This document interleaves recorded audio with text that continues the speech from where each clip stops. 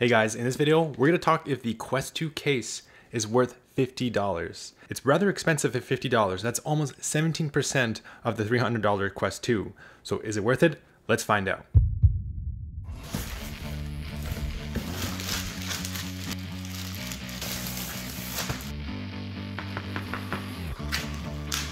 My initial impression of this when I first unboxed it was this is rather big. Now I understand why it needs to be big. It needs to accommodate the larger Elite strap. I've been using the Velcro strap and for me personally that has been fantastic. I've been using that quite a lot. No need to upgrade to the Elite strap. So it does feel really big.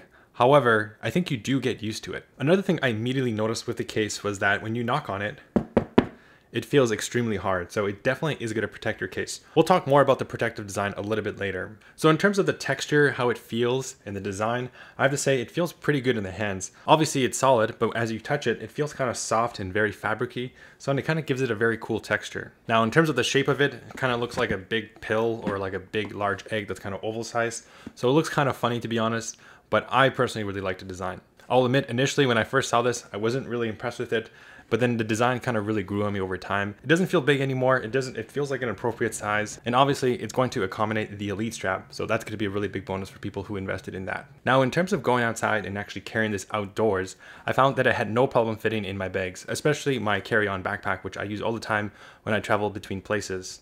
Now, obviously, we're not traveling that much during the lockdown, but I did find it very easy to put it in my bag and didn't really take up a lot of space. I guess if I were to nitpick, there's kind of one con, and I think it's the zipper. The zipper is a little difficult to open at times.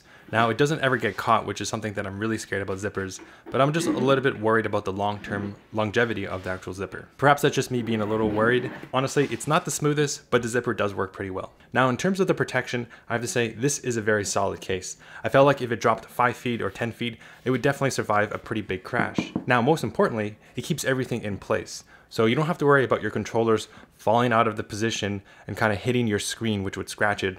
Or maybe you have an electric charger in there it's going to keep it in place. So everything is very secure. Nothing's going to move during transit. So as you open it, the first thing you notice is that there's a little compartment for some accessories.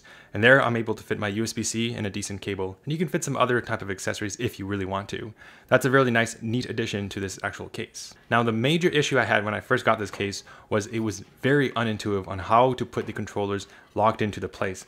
I was actually putting them in the wrong way for the longest time and I did not bother to read the instructions or just look how the controllers are set in place. So if you do get this case, I do recommend just making a very good mental note and practicing a couple times because it was very unintuitive. It's, it's just not very clear on how to put the controllers into there. And you have to be careful because you don't want them to fly out. So after you learn that, after like, you know, maybe you do three or four attempts, you commit that to muscle memory, it becomes really easy. But at first, it's a little difficult. Now, one minor concern is once you put the controllers into the case, I found it a little bit difficult to put the headset into the case. It's a really snug fit, and sometimes I feel like it's rubbing against the foam on my actual headset.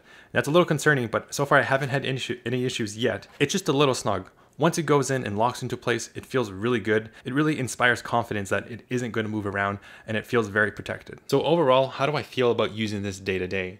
Well, I really like being able to travel with the Quest 2 if I'm going from one place to another place for quite some time. And in my carry-on, it doesn't take a lot of space. So it rather is compact and it's quite neat. It just fits in a nice package. And I can be confident that if anything bad happens, if I drop my bag or anything, or someone kicks my bag, I feel like it's going to be really protected. Now, one of the other use cases that I really like about this case is just for simple storage. And one of the things I don't like about my Quest 2 laying around unprotected is one, it's going to collect dust. Number two, there's these dangling controllers that are just kind of just flopping around everywhere in my place. And it's kind of annoying. Sometimes you can knock them over. Or for example, even your headset, maybe it's like on a table, you might just hit it. It's just nice to have everything in one cohesive package, kind of like this so that you know it's kind of out of sight out of mind. And another nice bonus is that this color kind of blends into like kind of white walls. It isn't black it doesn't have a high contrast so it kind of just melts into the walls. And i just kind of like being able to store it away so it's just very nice and tidy because the quest 2 is composed of three different pieces and those pieces could be scattered around or they could fall down pretty easily so to answer the main question is it worth $50 maybe it's better to go out and buy like a cheap Chinese knockoff on Amazon for maybe half the price. Well, in my opinion, unfortunately, I haven't been able to compare those other types of cases, but I just kept reading reviews that maybe it was designed for the Quest 1, so it may not fit exactly right for the Quest 2. I know for sure that, you know, obviously Oculus designed this for the Quest 2, uh, so I have a lot of confidence in their engineering, their design, that it, it is stowed away safely. Those other cases, maybe they're too loose, maybe pieces can fly about, or it can put too much unwanted pressure on the components inside and maybe damage your screen, for example. Now, of course, that's just me speculating.